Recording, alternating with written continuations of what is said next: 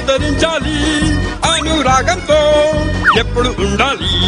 మనలో గొడవలుండకూడదు. మనది ఒకే కుటుంబమే.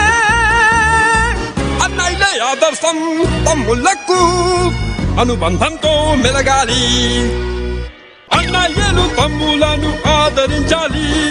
అనురాగంతో ఎప్పుడు ఉండాలి. మనలో గొడవలుండకూడదు.